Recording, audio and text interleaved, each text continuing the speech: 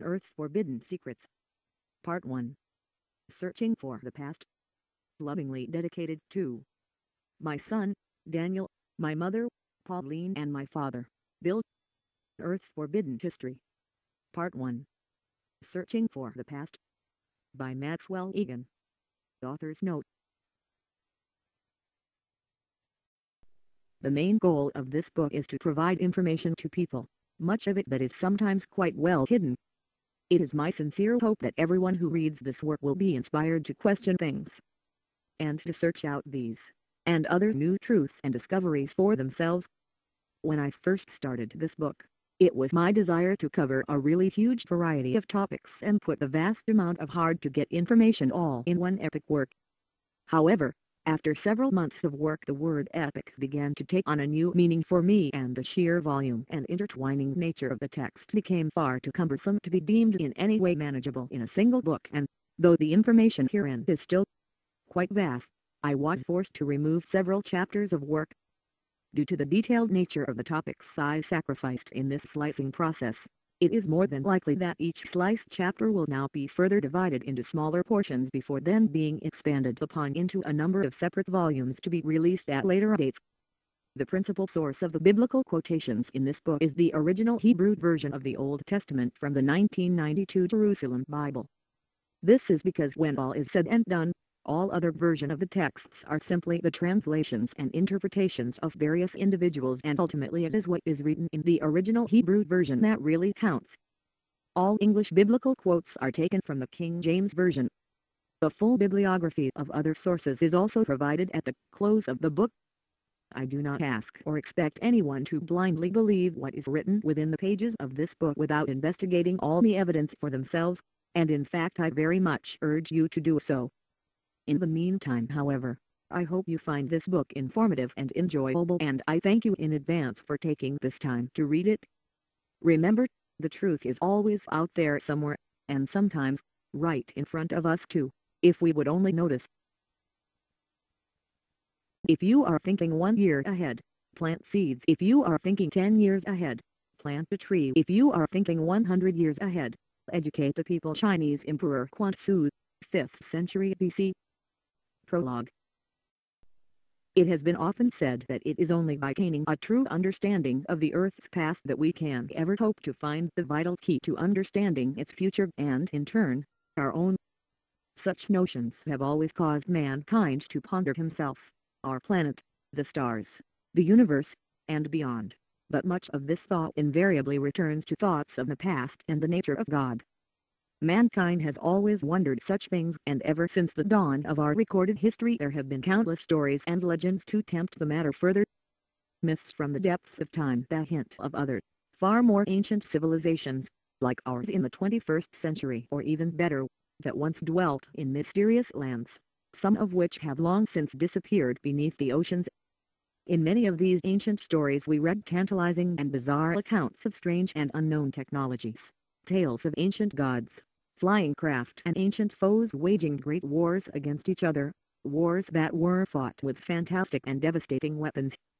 Over the years a great number of scholars have attempted to dispel these tales as rumors and fanciful myths yet still the stories have persisted and in a strangely unnerving reinforcement of them, we find, dotted across our planet, the remains of immensely ancient and enigmatic structures of unknown origin. And even more bizarre things. Archaeologists and explorers have uncovered amazing pyramids, megalithic stone cities and magnificent structures of intricate difficulty.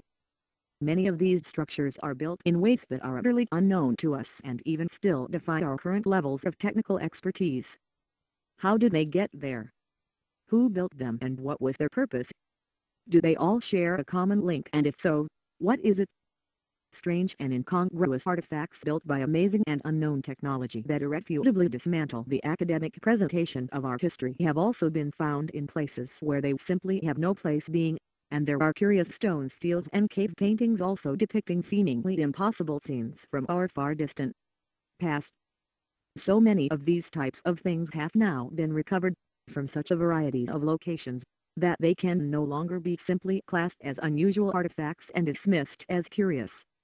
In recent years there has been a veritable storm of writers, almost reaching saturation point, warning of dire times to come, global war, massive earth changes, Armageddon, the fulfillment of dark prophecies and a doom that has been long foretold that will soon descend upon our world. Let's face it, it has always been easy to sell doomsday. It has been done ever since man has lived within organized communities and there is always someone who is willing to listen. But is there any tangible evidence for these claims and in what form does it take? In recent years, startling new discoveries have been made and fresh evidence has been unearthed that may help us to answer many of these and other, even more profound riddles and perhaps shed the light that has been sorely needed to illuminate many other theories evidence that may now at last force us to readjust our mindset and radically rethink the way we have viewed the earth, our history and ultimately, our future.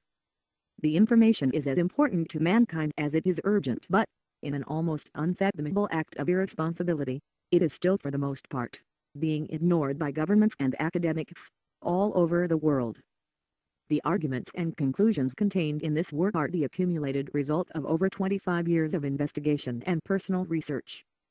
Many of the arguments presented here are not new, but new discoveries however small, can at times reveal a new importance and add a new and significant relevance to old theories. Plus in order to see a larger picture, the many smaller pieces of the puzzle must first be put into order.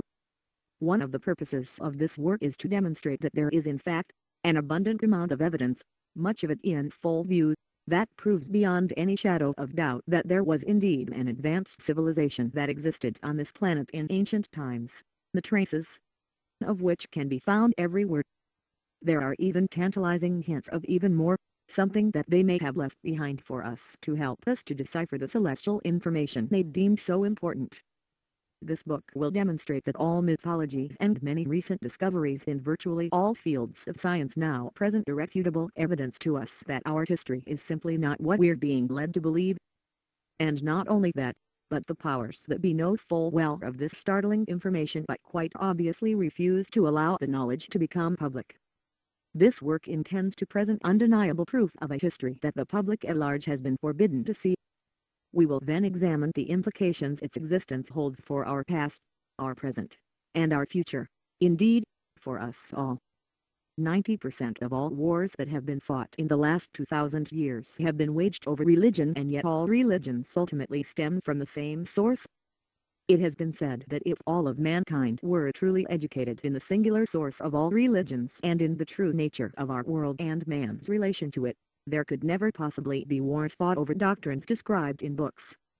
The ancients, we shall see, had no religion, as such, but instead had what could be described as a deeper knowledge of reality, a science and religion that were both integrally combined into a way of life. Education is mankind's greatest natural resource. Only through total education can mankind truly ensure a balanced and harmonious future, and in a world such as ours, Education should be free and mandatory. With proper and open education everything else falls into place. The scholastic institutions we have established for ourselves are in fact highly detrimental to the pursuit of true learning and the current distribution of selected knowledge based on the economic ability of the individual can ultimately only lead to a breakdown of our society such as we are even now beginning to witness on our streets. Yet even with this, Education is always one of the lowest expenditures in the budgets of any given nation. Education and knowledge should not be the property of an elitist club greedily hoarding its wealth, but a free and open establishment designed for the benefit and progress of the whole of mankind.